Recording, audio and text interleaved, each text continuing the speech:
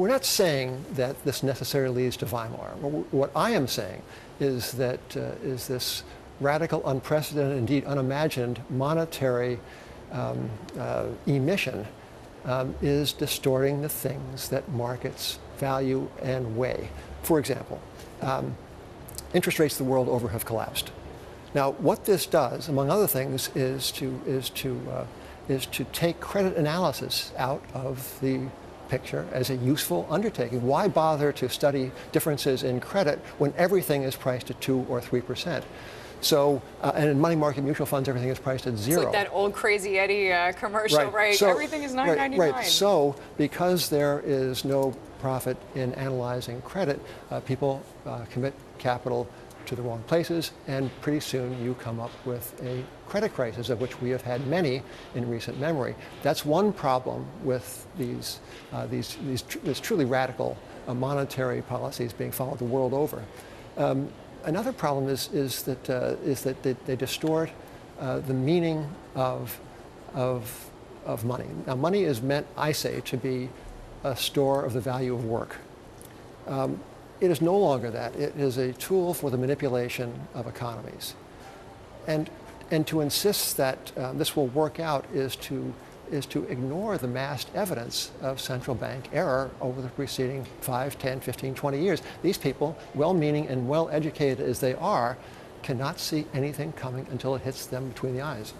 Do you think there's any possibility that gold selling off today is caused that maybe Cyprus or some other weaker country might be looking to sell its gold reserves to try well, to get itself out of a hole? I mean, there's a million possibilities. There, there are a million possibilities, and one, I think, one more immediate and plausible possibility is the sheer weight of selling pressure and momentum in a market uh, for a commodity, for a, for a monetary medium that is, after all, without earnings yield gold is a price. It is, it is an outlook on the world. Now, the reason to be bearish on gold would be that you have utter confidence in the capacity of the central bankers of Japan, China, the United States, Europe to uh, dexterously manipulate those things they manipulate to press interest rates to the floor only for so long, but don't, not a fiscal quarter too long, and to remove everything that's excess come the moment when it should be removed. That's the bearish And you're case saying basically gold. there's absolutely no central banker that has this kind of crystal ball, well, which is a fair right. point. No, no one has, including including those of us who criticize central bankers, but certainly no central banker has proven his or her capacity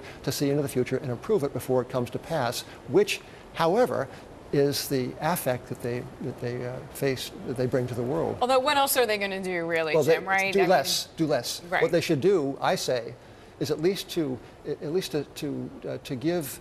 Um, market-determined prices a chance to operate. In Japan, Japan is a perfect case study of, of, of the, what everybody else is doing, but, but higher, faster, and louder. So the Japanese are buying, the Japanese central bank is buying real estate investment trusts, it's buying exchange traded funds as well as bonds uncounted and unimagined.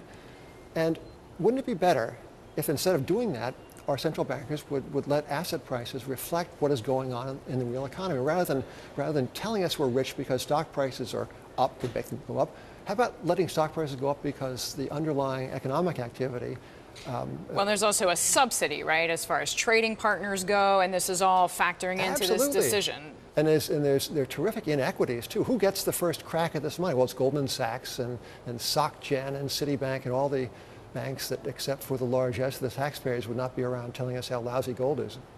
What do you do, Jim, if you're an investor now? I know you're still a long-term gold liker. At least uh, I don't know if I can quite no, say I, bull. I, I am indeed bullish on the stuff, as okay. I say, uh, bullish uh, but chagrined. Um, it seems to me that uh, that you know that, that, that if you look around for a segment of the, of the stock market or of the, of, the, of the commodities markets that is truly loathed, truly out of fashion, you can't do better than gold. Okay. So if, you're, if you have any contrary impulses, this is one place to begin, one place to begin, but it's, it's, I think it's the best place to begin.